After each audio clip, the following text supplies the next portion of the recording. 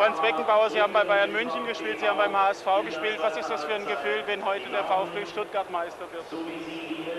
Ja, äh, natürlich schlägt mein Herz nach wie vor für den HSV und für den FC Bayern.